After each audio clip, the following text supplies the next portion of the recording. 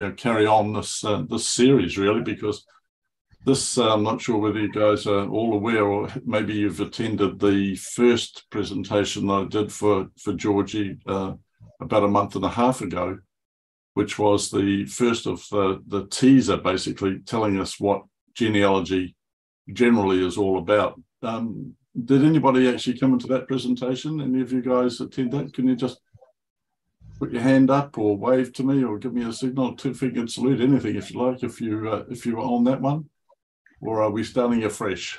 We're starting afresh, are we? Oh, No, I was.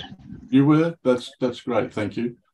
So this is the second. So this is really continuing on from that first presentation in the sense that the first presentation was really about yeah just getting your interest up, telling you what genealogy is generally all about without telling you how to do it or anything uh, of, of that nature. Now, today, we're going to start diving in a little bit deeper.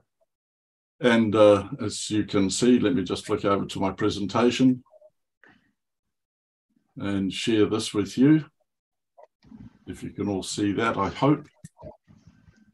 This is the, the next step, basically. This is the, the start of the beginning because family research if you've uh, investigated or spoken to anybody uh, in uh, the family or friends that are doing genealogy research, you'll understand that this is a long journey or can be a long journey. And that uh, I don't think it ever really stops. Any genealogist that probably says, I've finished my family tree is probably telling a big porky because I don't think you ever get to the point of, uh, of finishing. So let's, uh, let's press on. So my name is Gary, Gary Phillips. I'm um, involved with the New Zealand Society of Genealogists. I'm the education Join the meeting. Sorry, did someone say something? No. Um, I'm involved with the New Zealand Society of Genealogists. I'm the education officer there. NZSG is a national organisation. We have international affiliations, and we have access through our international affiliations for a whole lot of really interesting databases from both New Zealand, intensely New Zealand, of course, but also um, overseas. For for example, if you want to research um, the uh, the UK, you know, the English Times newspaper, all of the Times newspapers are digitized and online and accessible to us through our subscription through the New Zealand Society of Genealogists, as well as things like um, wills and probates and uh, you know, all family history databases through NZSG. So um, our organisation has a membership of around 4,000 odd people. It goes, comes and goes, as you appreciate. We, uh, we're primarily focused, or membership is primarily the elderly people. And unfortunately, a few people fall off the perch every year and no longer able to renew their uh, their membership. So membership does come and go, as all sorts of organisations do. We have lots of branches throughout the country, so it doesn't matter where in the country you might be. We're probably able to serve you through one of our branches, your local local interest groups on doing uh, family history, wherever it might be. Or if you're interested in a particular subject area, it might be Irish or Scottish or whatever. There's a, an interest group set up to uh, to help you with your research where you get problems um, in, in those areas as well.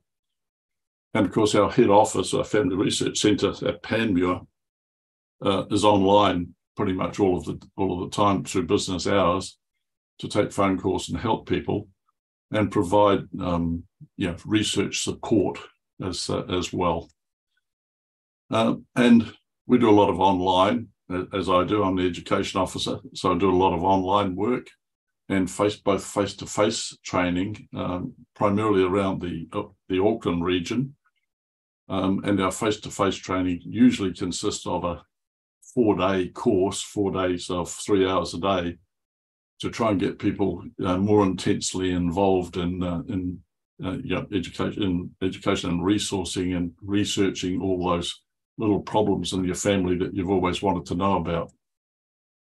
Um, and we have an online magazine, archives and electronic databases, all the things you would normally expect from a, a national organisation. And that's our website, genealogy.org.nz. So, me, I've been a tutor and committee member of our Hibiscus Coast branch for more than six years.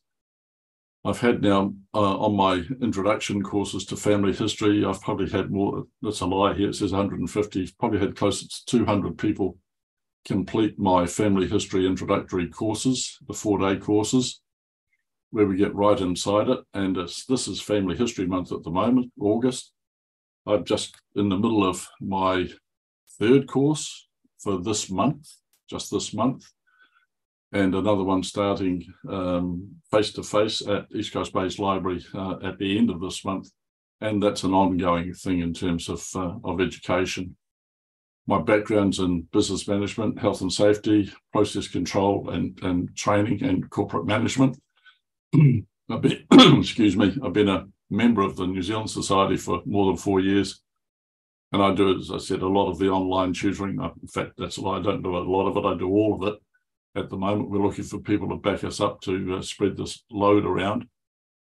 And I am the education officer. So when you ask for training, through NZSG, you'll probably be directed to me. And I do a lot of community guest speaker work as well for clubs, retirement villages, um, groups like Rebus, Probus, those sorts of organisation, Rotary, Lions clubs that are interested in find, yeah, spreading the word a little bit about what uh, what's available for people. Um, question here is, are you self-taught? Most genealogists around nowadays have been self taught. For a long time, there has not been any formal training really available to, uh, to people. And it has been an issue because when you're self taught, you learn different things and it's in an unstructured way.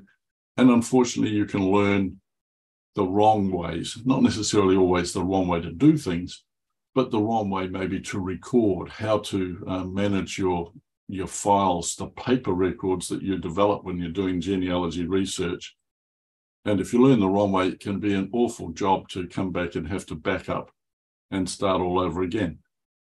I was self taught. I started back around 1995, and I wish I'd have known what I know now back in 1995, that's for sure. Um, so I fit into the education group within NZSG, and we're involved making sure that people get it right from the beginning.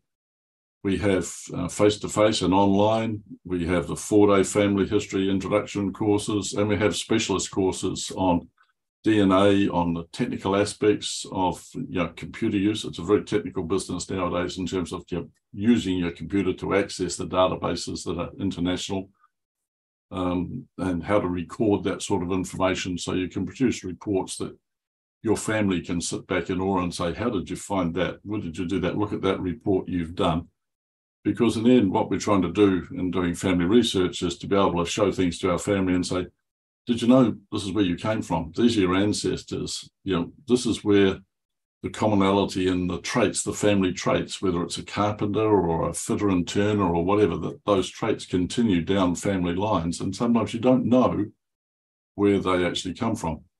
And I have to say that the um, more and more the prevalence of TV programs like the Who Do You Think You Are or the uh, the David Lomas series for New Zealand bases have done uh, a lot of things as far as genealogy research, think, bringing things to the fore and showing people what you can actually find when you when you're doing research. If you look at David Lomas, it's a it's a wonderful program. And um, in, in, the end, let, us get real about this, people. David Lomas is the front man that presents the information. Behind him, he has very good genealogist uh, researchers doing the hard yards on digging up all the details on these people and uh, presenting it to him in a form that he can actually use and make it into a, a TV program that basically, you know, sells. So this is about our first steps. What do we do after we've decided to start doing some research and to try and get you on the path. So this is, uh, and please ask questions as we go here. If there's something that uh, is not clear for you, please uh, stop me, put your hand up, and uh, and we'll deal with it. So the first and primary step that you need to do is to discuss this with your family. You need to tell your family, and I'm not just talking your nearest kin, we're talking about your extended family and tell them that you're going to start doing research or you are have been doing some and you're now trying to get a little bit more in depth on doing your research and start finding out what's actually available because there may well be things that have already been done. You don't know whether that second cousin that you haven't spoken to since last the last funeral or last wedding that you attended, whether they've actually documented some information about your family that you don't really know about if you're not discussing it with them. So being able to establish a an on like an online blog, whether that's a Facebook user group within your family, your extended family, or a WhatsApp uh, messaging system to actually tell people where you can share and inform and find th- these things out. It's something that's really, very important for you to do because you don't want to reinvent what's already been done. But I have to say that while you don't want to reinvent what has already been done, you also need to have the ability to check what has already been done because it may not have been researched properly and accurately and verified to the point that it is actually fact. And as a family historian, you people are basically carrying the can for your family to be able to tell your family, I have proven that this is the way that it was, this is what actually happened, and uh, and be sure that you've got the information correct, and not to you know follow the family rumours that may be absolutely rubbish. So finding out what has already been done is uh, is important to uh, to know, because you, if you find something that has already been done and that person is still alive that has created that research, then being able to share information with them can gives you a buddy to be able to you know cross check the information with and make sure that what you're looking at is correct or what they actually looked at was right and you had it wrong. So it's good to have that discussion with uh, with other people. And of course you need to collect the records. I, I shudder every time i hear that someone went down, round to uh, a deceased estate or whatever, and there was a box of stuff that was getting chucked out letters, Bibles, um, wills, um, photographs, anything like that. Those records are important historically in terms of documenting your family research. And I think we're all guilty of saying, oh, we don't want all of that paperwork hanging around, you know, and, and that might be fair as well. But being able to digitize it and keep it within, Join the meeting. within your computer system and using it properly uh, to make it available to other people and sharing it is a big part of what we actually do. So collecting those records, um, yeah, in whatever way you can, uh, is important. And some of these things clearly, you know, family trees that may have already been done, the family Bibles. We rate family, as a family historian, we rate family Bibles as being very high in um, verified content. And the reason for that is clearly the family Bibles have documentation written inside the, the Bible that took place at that particular time. The person wrote it down when that child was born, when that marriage took place, when that person died. So you have a very high um, confirmation level of its accuracy and we rate it very, very highly. And having copies of the Bibles, if you're not able to actually get hold of the original and keep it to yourself, ha- having uh, copies of it in terms of photographs or scans is uh, really important. Letters, wills, land records, you know, where did they live? What did they own? What did they pay for that? You know, where did it get sold? All of those things. And of course, the birth, deaths, and marriages certificates themselves um, and just a quick word on BDM certificates. Birth certificates generally fairly reliable in terms of accuracy. Marriage certificates similarly, you know, because the people who are actually there at the time getting married are the ones that can certify that correctly. Death certificates notoriously can be inaccurate. And you always have to look at a death certificate and say, you know, who provided the information about this person that had actually died. And if it was a grandson or a second cousin who provided the information saying, oh, he was born on Ireland in 1832, may not have spent any time with him, understand really that he wasn't born on Ireland at all. It was in Scotland and it was 1845 or whatever. So accuracy of death certificates is always suspect and needs uh, verification. And of course, you need to read what's already out there within your family. Read the family letters, the family papers, you know, the uh, the transcripts, the books. If someone's actually produced a book um, about their you know travels to New Zealand or travels to another country doing research, these sorts of things, read them all thoroughly before you really get going. And this is an important one. You need to get a sense of any notable people that you might have within your family.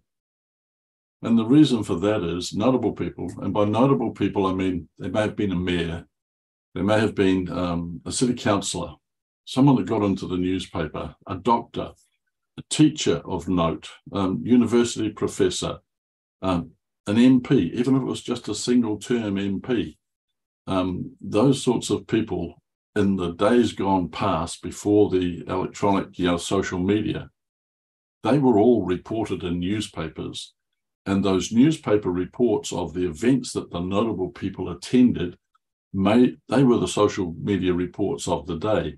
And if a notable person that's in your family history attended an event, that event, that wedding, probably contained other family members of your family that you may not know anything about. So being able to search for the notable people may open up the roads to give you access to people that, uh, uh, yeah, uh, maybe not so notable. The Joe the plumber, but he was at the wedding and he's recorded in the newspaper report alongside the, the local MP. And of course, notable people, frankly, they're quite easy to trace, or they're easier to trace because they made the newspapers. We reported them, we tracked their obituaries and things like that. And then start a pedigree chart. And a pedigree chart is a simple chart that tells you where you are, your parents, what you know about your parents, where they were born, when they got married, what other children they actually had, and then their parents, your grandparents in turn, when they got married, and writing that all down, down in a you know, pedigree chart format. And there's plenty of pedigree charts online for you to have a look at if you don't know what pedigree chart is. Um, gives you a, a, an idea of what holes you actually have in your families that you need to start concentrating on for your research. Because really, we want to spend the time on the things that we don't know about rather than spending a lot of time on the stuff that we already really know. Okay, so we want to find, fill in those holes on the pedigree charts as much as possible. And if you're talking about or considering a DNA test, don't make the mistake of seeing the ads on TV or wherever it might be about uh, DNA tests online and buying up um, for Christmas uh, a whole pack of uh, DNA tests and giving it to your grandchildren and saying, here, get your DNA tested. Because we already know what your grandchildren's DNA is. It was passed from you to your children and then down to them. What we don't know is the DNA that are your ancestors, your parents, and your grandparents. And that means getting your DNA tested on your oldest living relative, if that's you, well and good. Um, or if it's a, a great aunt, that's excellent as well. Get them, if you're able to, to uh, to complete a DNA test and get that recorded and tracked. So, and if as a family historian, you're able to do that and use that DNA to then confirm in a lot of cases some of the uh, the family links that you may not have understood otherwise. And those oldest living relatives, they're the first people you need to go and talk to and interview and sit down and get written notes about what they knew about their family, what their life was like, what they knew about their parents' lives, while they, and obviously you got to get them while they're alive. So you can't once they're gone, you can't ask those questions. And if that's you, that's great. Make those notes for yourself. But if you've got another relative, whether it's a cousin, I don't care whether it was a cousin that you've never spoken to for yonks, if you've got the you can get access to them to have a discussion with them. It's valuable information to record what they actually know because they will know other things that you don't, and that's what we want to know. Now, there are some sites here listed on the screen for you to have a look at, and I'll go quickly into some of these for you. These are free sites. So these um, are available online, no charge to access. The LDS site, the Latter day Saints site, or commonly known as the Mormons, the Family Search. Let's just pop in here just quickly.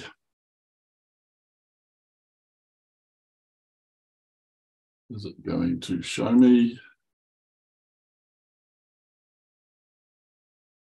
Right, so this is what the Mormon site looks like. Now, all you need to be able to access this information within the Mormon site, and they've done extensive research throughout the world uh, on all birth, deaths, marriages, wills, you name it, uh, extensive records that they actually hold, and they've made it available to us online for free. All you need is a uh, registration. You need to register with your email address and a username, and so it can track where you've been and what you've actually looked at. And the main reason for that is it wants to know what you've done. So down here, it's showing me my last time I logged in. There's my profile at the top. It tells me that I last looked for John Dooley, Thomas McGuire, James Dundas Sims, um, and away we go. That's tracked me. And so if I want to come back to this later and look at where I have been, the information is actually given there to me. And at the top of the screen up here, we've got several different drop-down menus. To search, we can search all the records that they actually hold census records, birth, deaths, marriages, school reports, passenger lists, whatever, they're all listed here.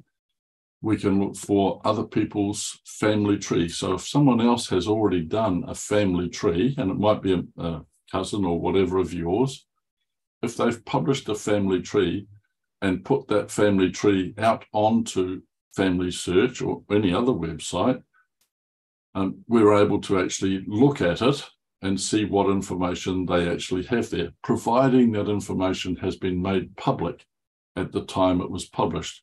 You can publish a pet family tree online and make it private. So people can't actually see it all, but they can come to you and ask to have access to it. So researching, uh, just looking simply at records,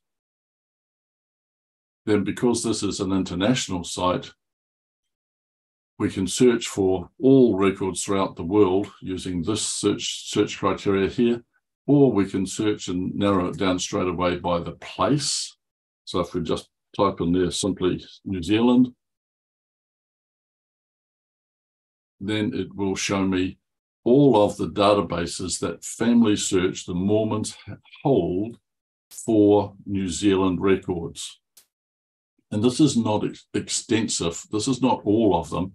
This is the list of the more common ones. So, for example, the most commonly used um, database on Family Search is for passenger listings. That is, all the records held within New Zealand archives have been digitized by the Mormons and made available on their website for us to go and have a look at. Now, don't get too excited, guys, because passenger records in New Zealand are notoriously remiss we have big holes in what has been actually recorded or has been retained. So um, the New Zealand Archives people, last time I was in Wellington discussing with the head archivist, they've told me that all the records that they hold in terms of passenger listings, that's the full manifest of passengers, have been digitized by the Mormons and made available through their website. So they did that for free for archives. In return, they've published it online. So you can go into passenger listings very simply, enter the name details of uh, the person that you're actually trying to find out about. When did they arrive? And if it's some of the key criteria here, you can also make it a little bit more specific and add other details in, like where were they born, when were they born, where were they married, whatever, and then search for a particular person's name. Be aware, though, that spelling can be a little bit varied. Um, ages can be varied. So, for example, when there was a common misconception that if you were trying to come to New Zealand as an assisted immigrant, that you had to be under the age of 50 in order to qualify for assisted passage. Um, actually, not true But that meant that common misconception meant that a lot of people falsified their age in order to get assisted passages. So while you might be looking at someone on the the, uh, the passenger listings that says, or that you know might have been 50 odd at the time they, they left and came to New Zealand, uh, on the passenger listings, they may actually be shown as only being 40 because they lied. And there was no proof at that particular time. So the passenger listings is just one of the sort of databases that's available. And if you want to climb inside all of the detail of the databases that are available on uh, the Mormon website, then going into the catalog listings, that's up here under search and catalog. This is like a library catalog looking at all of the different books on the shelf of the Mormon library that contain data. And simply, once again, putting in the name, New Zealand, country, location, selecting it, searching it. And here is all of the individual databases. So if you know that you're specifically looking for information about colonization, for example, you can go directly into the colonization database and it will only give you results from that databases. Now, some of the records on here on Family Search uh, may not be available directly online to show you. Many, many of them are, but some of them may require you to go to an LDS or Mormon Church certified or affiliated library search center. That can be uh, the local Mormon church. Most of the the uh, the, the, churches actually have a uh, a support center set up about research, or it could be your local library that is the uh, is an affiliated library with the Mormon Church that will give you access to information that might be otherwise hidden to you as Joe Public. So just be aware of that. Sometimes it'll pop up, it'll show you something on the screen and say, go to an affiliated library or family research center to view this certificate or document that you're looking for. That might simply mean all you need to do is to go to your local library to be able to log in there to see this particular information.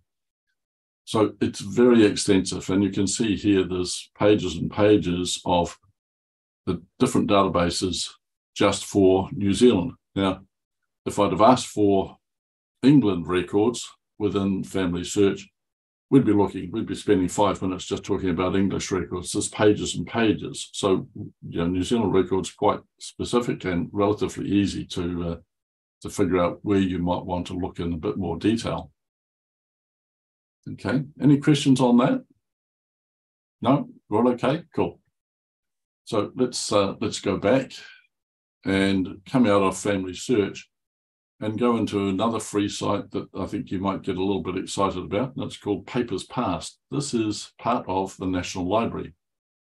So thank you, Mr. Taxpayer, that's paid for this because now you have access to digitized newspapers. Right through, oh, the dates vary but generally from go right through to around the 1950s or 60s depending upon what the uh, what the paper was.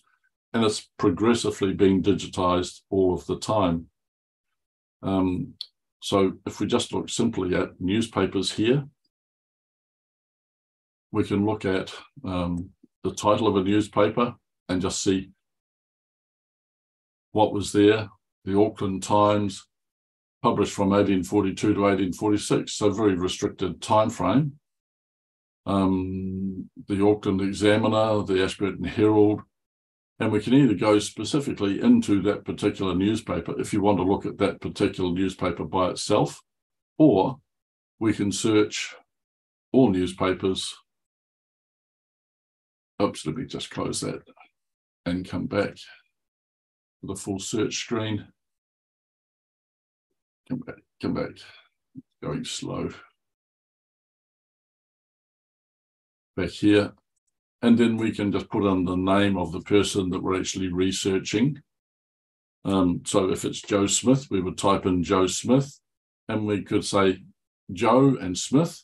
I want all of the words Joe and Smith together in an article to give me the results showing on the screen or I want specifically the phrase Joe Smith or Mrs. Smith or whatever first names, last name it may be, and it will only record those particular um, criteria that you're actually putting in. Then we can select it by date, what period of time we're actually interested in looking for, what region that newspaper may have been published. Was it a national newspaper? Was it just the Hawke's Bay area newspapers?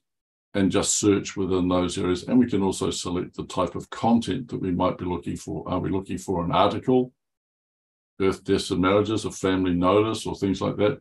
Or an advertisement, if it may have been a shop owner or someone that owned a business, or a photograph or a, an illustration that's there and the uh, search criteria that we actually select there will actually then display on the screen for you. And you can then uh, do a snip and click of uh, what's on the screen, or you can download that article or that photograph, whatever it may be that's showing to you, directly off uh, Papers Past. In a similar sort of way, the Australian newspapers uh, Trove is available to us online for free. Um, in the UK, you're going to start paying for uh, for that sort of access, but still, um, you know, available if you're getting into serious sort of research. So Papers Past is a very powerful um, device because it's reporting the social history of the days that we're interested in. So if you're talking about trying to research notable people to see what happened, putting in the names of those notable people in here and searching within the, the home patch of those people, whether it's Ashburton or Wellington or wherever it may be, and getting the details of every time they went to a social event and were reported, then you're getting all of the information about they went there. Mrs. Jones went to Wellington for the weekend. She came back and was visiting her daughter while she was away. So we get the name of Mrs. Jones and the daughter's name. She was actually then living in Wellington. So we get uh, details of when they were alive and where they potentially lived to carry on our research journey. So Papers Past is a um, is a very good tool. Birth, deaths, and marriages in New Zealand. Um, you may or may not be familiar with this particular site as well. So this is where you would order up or research the details of historical people, and there are criteria here for searching the the birth, how old people uh, may have been 100 years or more, you're able to access the information, or if it was a deceased person or a stillbirth or a marriage more than 75 years. So there are specific criteria in terms of making information available, all limited by the, uh, the Privacy Act for you. And you, you can search for birth um, and criteria, putting in the actual family name, given names, spelling specific. So if you don't know the uh, the correct spelling of a name, there are wildcards that can be entered here to actually overcome any spelling deficiency. So if you're getting lots of answers coming back, you may say, I need to be you know clear about how this may have been spelt, and then simply look at the uh, the the, uh, the help to find out how to spell or how to use wildcards within uh, New Zealand birth, deaths, and marriages. In a similar sort of way, you can look at um, UK uh, research online, but only up to the point of uh, indexing. That gives you volume and page number of a, of a book, and then you have to go and order the certificate. In the same way here on the New Zealand uh, BDM, this will only give you the information to enable you to order online, receive a certificate online through email, but pay the money, honey. You're not going to get it for free. Okay. Um, Archives New Zealand. This is another free site. And Archives New Zealand contains um, a lot of historical information, um, wills, criminal events, land sales records. In the days of the Second World War, when land sales all had to be registered, that all those registrations were managed through the High Court and were recorded through archives. So if you're looking for land sales transactions during that period, you'll find those records will be available through archives. And then searching is a, a relatively simple matter to uh, to go through. and when it refreshes, it'll give me the uh, the information. It'll come up here, hopefully, if it ever gets going. So what are you looking for? And then you can just type in the name of the person or the particular location that you might be searching for. So we've got things like probated wills, coroner's reports, um, civil action, uh, legal suits, uh, land sales, registration of all the suffragette movement, all recorded here to, to get names of people. Um, a, a, vast you know, gamut, a huge amount of information available through archives and all available for free. So it's just a case of what are you actually looking for and understanding the search criteria that you need to put in to start getting information back.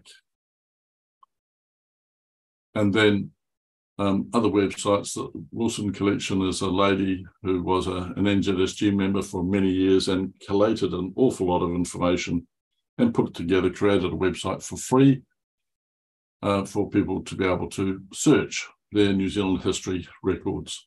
And searching in the uh, Wilson Collection Index will once again give you access to a vast range of information, birth, deaths, and marriages uh, primarily, but also in some cases, things like school records and things like that as well. So Wilson Collection's another free one that's generally available for you. Okay. So those are the free sites. You can spend your time perusing those and having a look around and seeing what's actually there. But once you then start to find things, what do you do? Because now we need to start recording the information. There's not much point in, well, you can, if you're happy to just cruise around and just look, th- look things up without having to do anything else with it, then that's fine. Knock yourself out. But if you're going to get serious about trying to record and documenting and telling the rest of your family how wonderful you are and how many things you've actually found, then you want to start putting it into a computer system that will actually record this for you. Now, there's a couple of ways of actually doing this. You can document all of your records online using websites like Ancestry, like using the Mormon Church website. You're able to, once you've got a profile set up, you're able to add your family tree information in there. Or you can use a computer system of your own uh, on your laptop uh, that will record uh, all this information that you then choose to publish at some stage in the future when you're comfortable with knowing it's accurate, you're able to share it, then that's what you uh, can do. And there's some very good software around that will record on your computer directly. And whether it's uh, an Apple that you're actually running or a, micro, or a Microsoft Windows machine, the software for all of them. And some examples here are Legacy. That's the program that I run. Roots Magic, another very common one. And Family Tree Maker, which is another very, very common one. Um, and these are all available at a relatively low cost. I think Legacy is about $60 or something to purchase outright. But it also runs a free version um, that's a stripped down fit low feature set. But gives you the basic information available. So if you wanted to try things out, these programs quite often will give you a, uh, a trial version for free to get you to understand how it actually works and is it going to do the sorts of things that you want it to be able to do. They all do the same sorts of basic things very well. They're well developed, well maintained, um, and quite user friendly once you start to use these things, then of course it's like the bank. You know, once you set up a relationship with a bank, it's uh, not hard to change, but you're less likely to change it. Something's got to be a real catalyst to get you to uh, to change a bank. And the same sort of thing. So once Legacy hooks you in and gives you the trial version and get comfortable with it, you're unlikely to go somewhere else. You'll probably continue to use Legacy, and ultimately you'll buy the full featured set version because you want to do some reports that um, yeah, I mean, you can show stuff to your family and make yourself look really cool. Um, so with these programs, they're all relatively easy to get started on. There are some excellent tutorials for all of them online, whether that's tutorial that comes with the purchase of the machine or through YouTube online to actually show you how to do these things. Um, they're really very comprehensive. And if you do go down this path and set up software on your machine, on your laptop, then one of the things I do recommend you do is to set up a sandpit. A sandpit is a family tree, really, that you can play with. So all of these programs will allow you to have several different family trees all running at the same time. The idea of a sandpit is that you muck it up. You want to go in there, start doing things, and be comfortable with the idea. It doesn't matter whether I get it wrong because it's only a sandpit. I can scrub out the sand, broom over the top, and start again without any problem.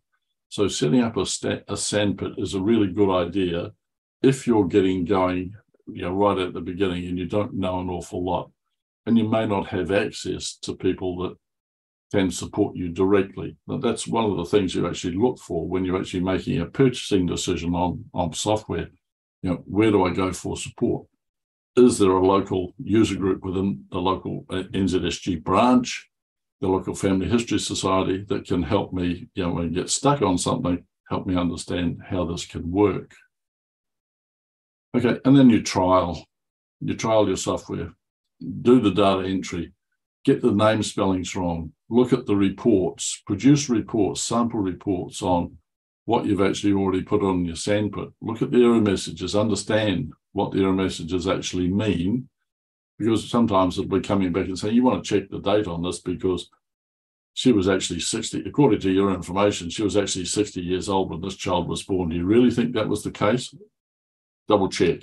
So it gives you hints about where you may have already gone wrong and got wrong information.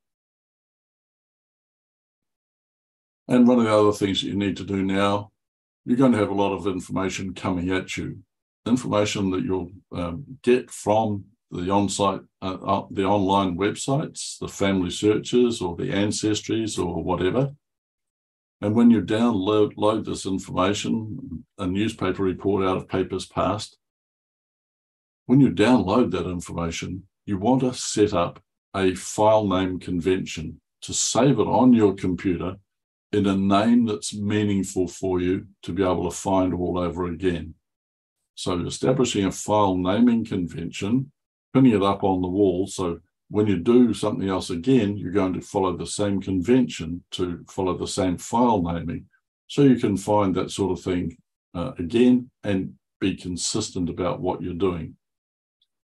Um, this is the story of do what I say, not what I do, because I've been down this path and had to rechange um, a lot of file naming because I decided after some time that I wasn't doing it in the most effective way and had to come back and actually you know re-save a whole lot of documents to get them in the standard that I actually decided was going to work for me. If I'd have known this at the beginning, it would have saved me an awful lot of time and effort. And then, of course, you'll have other things as well. You'll want to file these. So giving it a file name is one thing, but knowing where you file it on your computer is something else again. So you will need to set up a filing system, whether it's under the family group names that you've actually got. So you've got all the data associated with one of your great grandparents or that family name is entirely up to you. But establishing a filing system is, uh, is very important as well.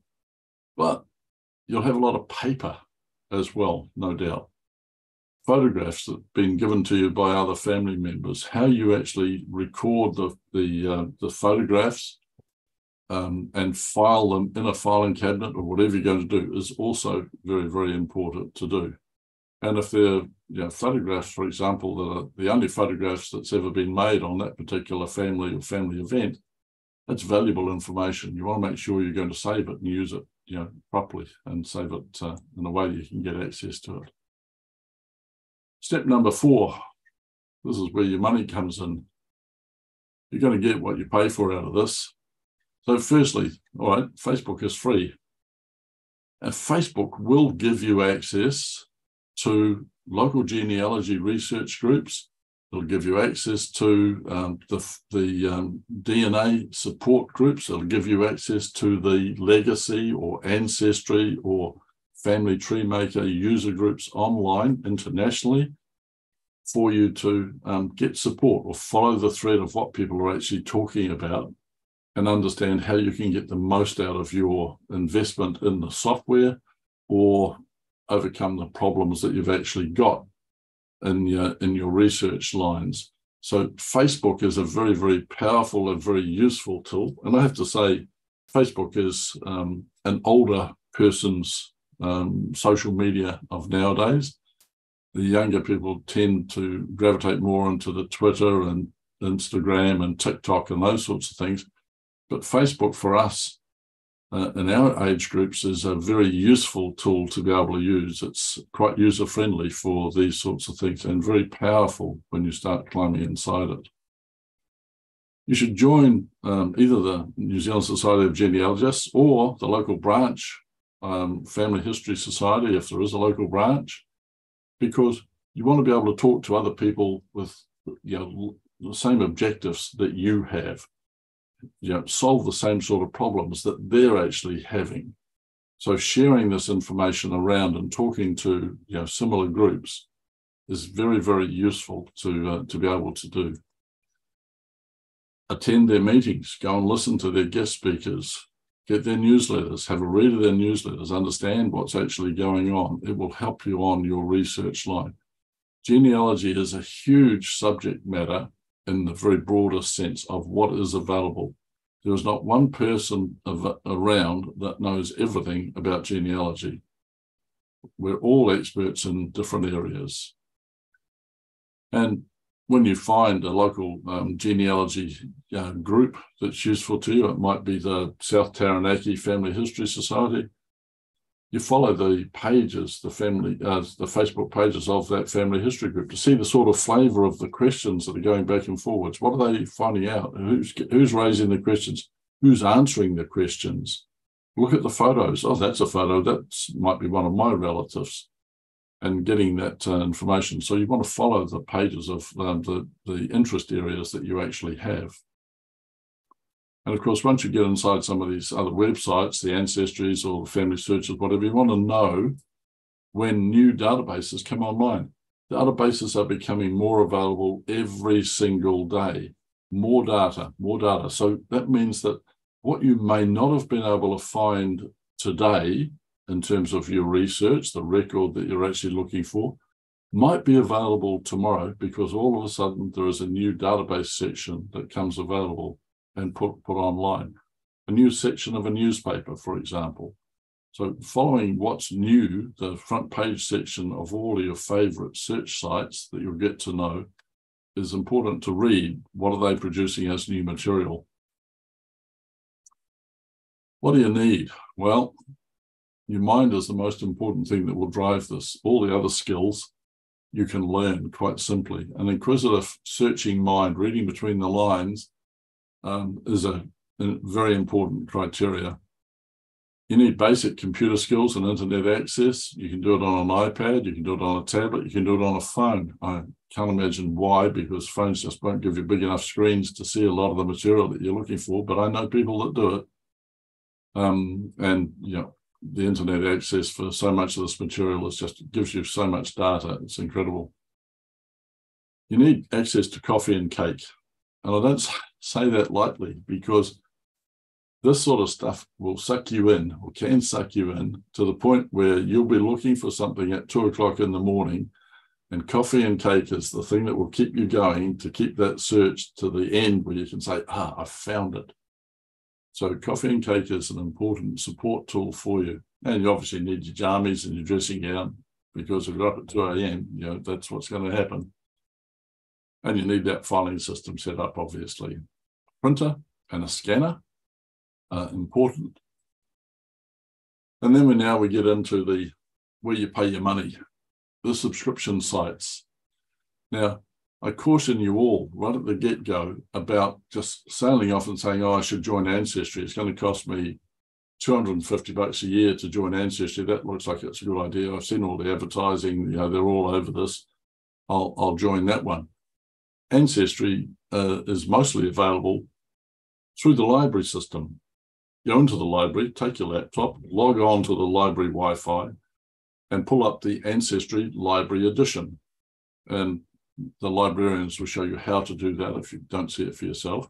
So you can get access to the Ancestry records and databases simply by going into the library and accessing it.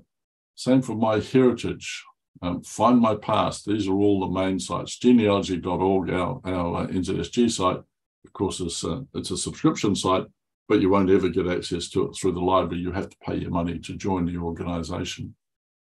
And some of these sites are also available through the library system by remote access. So that means at two o'clock in the morning, you can actually access things like Find My Past by logging onto the library using your library card and accessing Find My Past through that online remote access.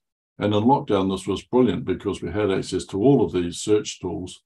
They were opened up to just about everybody, courtesy of the councils uh, for us to be able to do research while we're in lockdown. So it was a marvelous thing. It's now reduced and come back to, um, I think, MyHeritage and Find My Past as the only sites really available.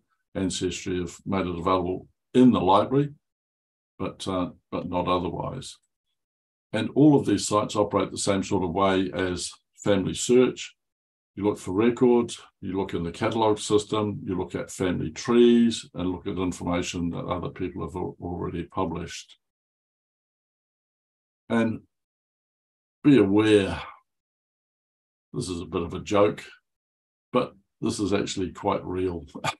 and I particularly can relate to this because uh, you will spend money on researching genealogy records and paying money for certificates. And ultimately, you will buy certificates and more certificates and more certificates to try and support your information about your family research journey. And it can cost you a little bit of money. So there's ways to actually circumvent spending all this money. And one of the ways is actually copying information that people have already published online if they have already published a certificate online, then you are able, it's free and public domain, you're able to download that information directly to your computer without spending the money for that certificate. The secret is how do you go about finding that information online? So it can cost you to do this. So thank you. I'm out for time, people. So let's just take any questions if you have any, please. If uh, you'd like to just put your hand up or uh, unmute and ask, that's fine by me. Let's just unshare here. Thank you so much, Gary, for another wonderful presentation this morning. If anyone does have any questions, um, then please feel free to unmute yourselves. Otherwise, you can use the chat function just down the bottom of your screen, and we can answer those questions directly. I know we've got a question here in the chat from Adrian. I have done my DNA test via Ancestry and entered a basic family tree without subscribing to them. My two kids have used different suppliers for theirs and had quite different results. Yes. Is it logical to compare them? No, no, it's not. Okay. Because when you test on uh, when you test with Ancestry, and you, um, I, I, guess, Adrian, you're referring to your ethnicity estimates, uh, what it's coming back and saying you're 60% Scottish and 20% Irish and whatever. Those ethnicity estimates are only estimates. And when you do your DNA test on Ancestry, it will compare your DNA with other people that have tested on Ancestry. And it will give you that sort of comparison people that test on with MyHeritage or 23andMe or whatever, it will only compare their DNA with the other results that are already on their website. So you'll get di- totally different ethnicity estimates coming back at you. But they are only estimates. They're just giving you hints of where your family may have actually come from. Uh, the detail, you know, the answer is in the detail of where it actually came from. And this is where Ancestry is actually the most powerful um, um, DNA tool to be able to start off with. Because if you do an Ancestry DNA test, you're able to take your Ancestry DNA test results and populate other websites with your DNA results. So you can send that DNA, your DNA, out to back into Ancestry, attached to your family tree. You can set up a family tree on MyHeritage as a free family tree site and add your DNA, your ancestry DNA, into your MyHeritage family tree to have people on MyHeritage, you know, um, coming back to you. Because the idea of doing DNA is you want people to be able to access you. where can you find me? What can, what can we share? So uh, I hope that answers that question. Any else? There was also a second part um, of the question from Adrian. Um, their dad is long dead. Also, my mum is still alive. Is there any point in getting her DNA tested? Um, yes, because you don't have anything else to go by. So you you you have to work with what you have, and if if any uh, you're aiming for the elder the, the oldest possible living relative because you can't test them when they're dead. Any others? I can't. Oh, I can see the chat. There's one here from Pat. Frequently, many of the Papers Past are not available when searching. They are greyed out. Is there a good time of day to try ANS access Papers Past? Um, when they're greyed out, I'm not quite, quite sure what you mean by that, Pat. Um, if if there's a record or information showing there's no time of the day where it's not available, papers passed is online 24 7. Um, it, it would only be not available if it's not been digitized for the period that you're actually looking for. So you want to check the um, the the dates that you're actually searching for for the type of newspaper in that area. If it's Otago, then what was digitized and made available in Otago. Now, let's not get confused.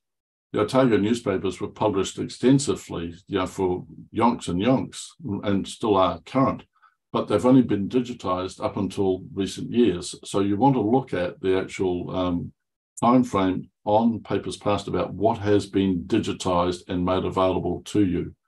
That would be the only reason that it's being grayed out. Okay. Anybody else? Nope. So you've covered everything off perfectly. Well, I hope so. yeah, thank you again. And thank you everyone for joining us this morning. Um, it has been, certainly been really, really interesting, and I'm sure you've got a lot out of it, everyone on the call. Um, so thank you again. Um, and I hope you all have a wonderful afternoon.